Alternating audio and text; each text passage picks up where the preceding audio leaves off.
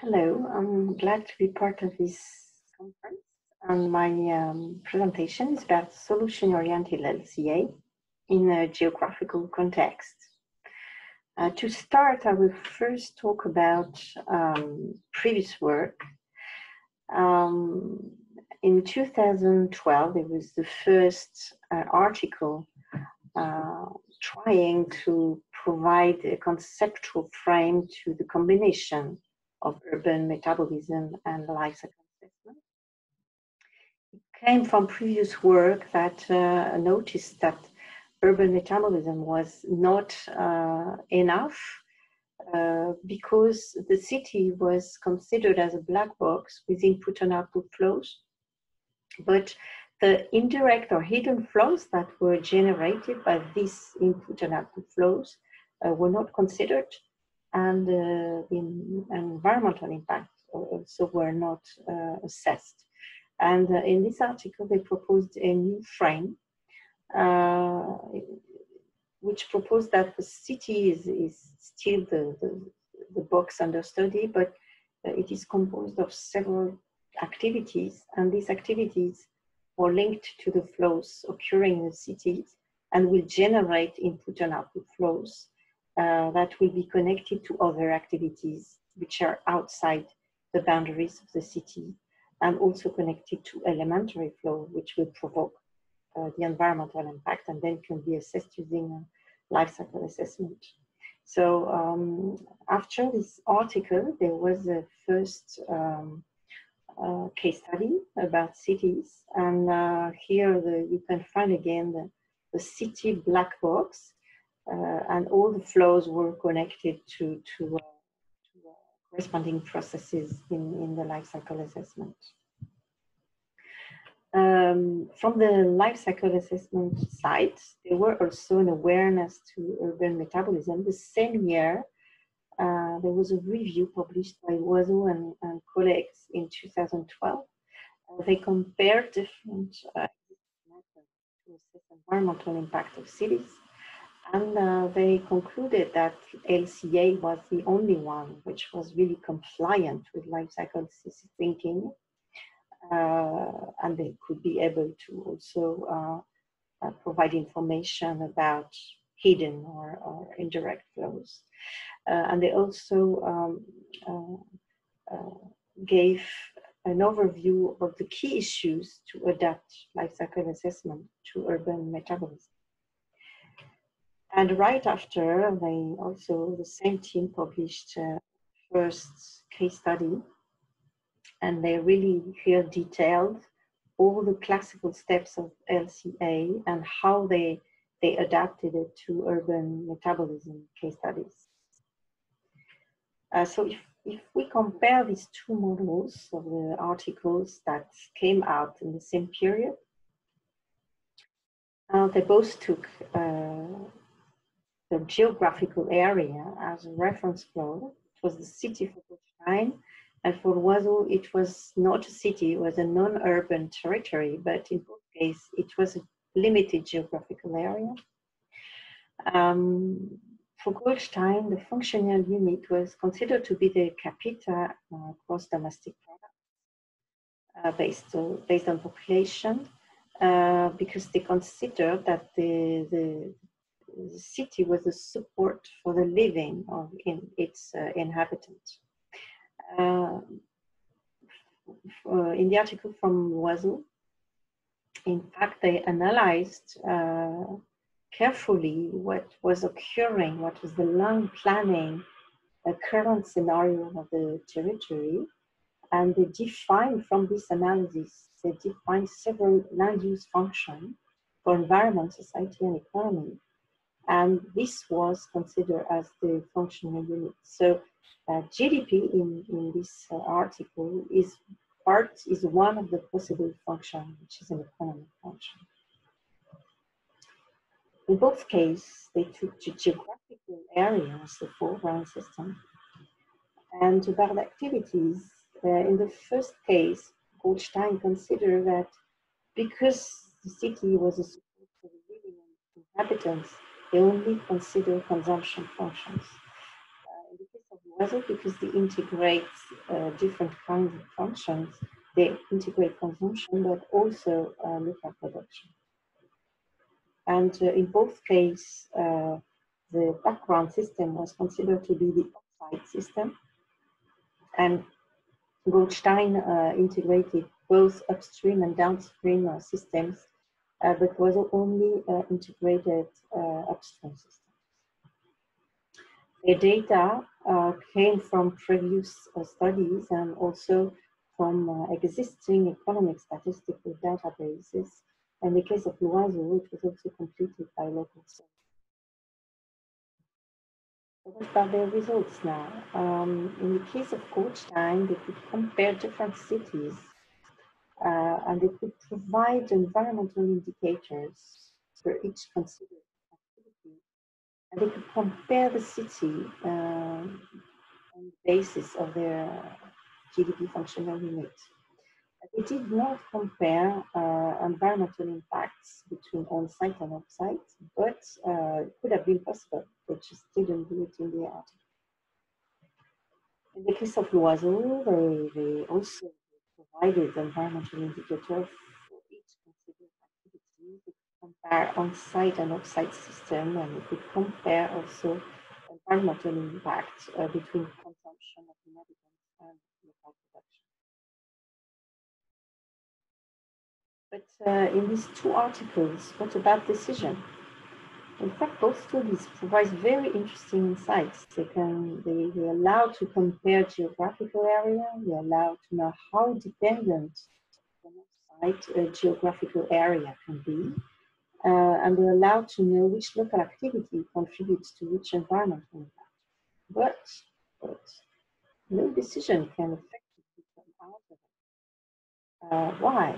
Because if you come back to fundamentals of decision, role of a decision maker consists in addressing problems with effective action. And the decision are considered to be effective only if the action can be controlled by the decision maker and all these possible actions can be studied, investigated with their consequences, quite systematic. And in fact, in uh, classical LCA, product scale LCA, uh, there is a concept which is totally linked to decision, which is the concept of the foreground system. The foreground system is the part of the system that is directly controlled by a given stakeholder. So if you count for this definition, uh, the foreground system, if it's detailed enough, and if, if it provides the list scenarios and parameters that are controlled by stakeholders, then you can uh, you can uh, come out with action levers. So this concept, in fact, is very underused, even in classical LCA. Uh, what happens with the classical LCA? Here you, you see a, a type of result that you can obtain uh, so you compare a few scenarios. Here I give three, it can be five, but you don't have a lot of scenarios. Uh, and you will find that one of them is better on one indicator, but, for the other one, it's another solution, and you will never find one solution that is better than all others. So it's commonly said that LCA provides undecidable results. Um, and then often other aspects to the final decision. Or you will have to set priorities between indicators. But what happens is that uh, usually the decision maker doesn't really know what this indicator means. Uh, uh, doesn't know what is uh, and uh, so the, the decision in that case the decision maker will often choose what he knows the best of the, the highest priority so in fact, when, uh, when the decision is made uh, based on uh, uh totally subjective uh, choices or uh, based on other considerations like costs, then the, the environmental study will serve as a justification and communication will be restricted only to the improvements and we will not communicate about what can be integrated. So it's close to greenwashing, in fact, and it, it's exactly what we want to avoid in life cycle assessment. So these observations have led me to, to, to propose, uh, to suggest another way of thinking, which I call action-oriented LCA. Uh, my opinion, LCA should provide a list of action levers to each decision maker and uh, with the assessments of their consequences. So what is an action lever? Precisely, uh, it's a parameter of the foreground system that can be controlled by one decision maker. Uh, and to know what he should do, the decision maker has to know which is sense of action of this parameter. Should he put it up or down? And what it, needs also, it requires also to quantify the effect of uh, this action on the environmental indicators. In fact, if you represent uh, this, this, way of thinking, uh, you have here uh, your model, which, which, provides you a list of possible parameters. Some of them are controlled and some of them are not. And these are also important because the uncontrolled parameters will give you uh, the uncertainties. So this is your system. And then you can assess the consequences using life cycle assessment. So what type of question does it answer?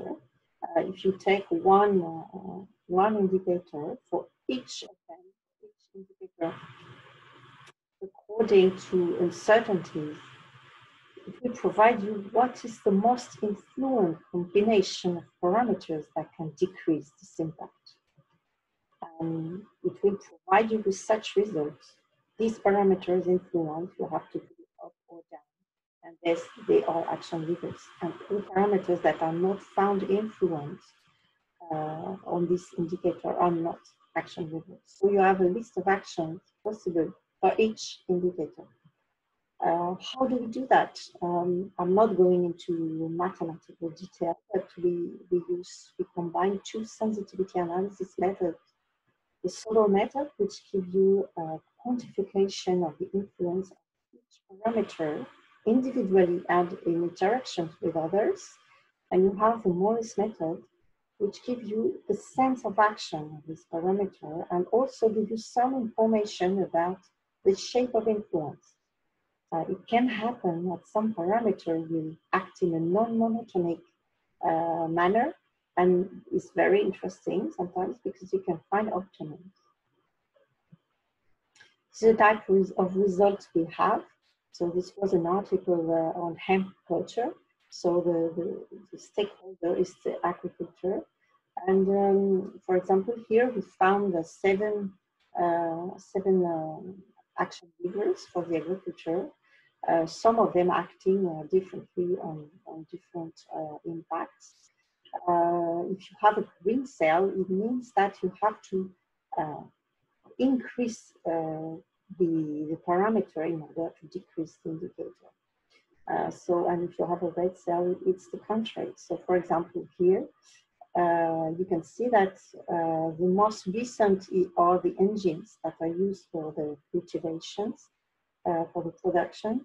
Uh, the less you will have uh, toxicity or human toxicity, and you can see that it can decrease from 30 to 40 percent. So you found this for every indicator. And you can also see that uh, some parameters uh, which are not controllable are quite influenced. For example, the nature of the soil here will have an influence on the eutrophication indicator. So this indicator, there will be quite big uncertainties. If you want to know more about the method, here are some references. Uh, two articles are published uh, on uh, in the second article, we have added one stakeholder. Um, uh, initially, we, we had the agriculture, and we added uh, the industrial system that we produced uh, insulation products based on hemp. Um, but you also will have a future reference that are coming out very soon, one on the design of concrete, reinforced concrete, and one on microalgae culture. And, and you can see that the method is general and can be applied to, to any, any case study. Uh, it provides each stakeholder uh, the knowledge of what can be done under its own action perimeter. You can also observe synergies or antagonisms between different stakeholders of the same system. And uh, um, you can also uh, quantify, of course, uh, the result of what is more effective on the total life cycle system. So uh, already this type of LCA is not really practiced, uh, even if all the concepts are here to make it possible. Uh, it's quite underused. But uh, if we come back now to territorial LCA, a combination of LCA and urban metabolism, in fact, the definition of the foreground system here has been changed. Uh, and usually what happens in, in uh, existing studies is that the, the foreground system is the territory that is under study. And for me, it is not adapted to action because, uh, in fact, the, the, the on-site uh, action activities are uh, mixed with the foreground system and there's no distinction between them. So this is what I suggest. I suggest that uh, there is, there should be a distinction between on-site and foreground systems. Uh, here you have an example of a, a. It contains uh, different types of activities, and these flows uh, linked to these activities, they are connected to uh, off-site or background system. But inside the, the, the on-site system, you can distinguish different foreground systems that are different And to me, it's very important that uh, stakeholders uh, have their action perimeters very visible.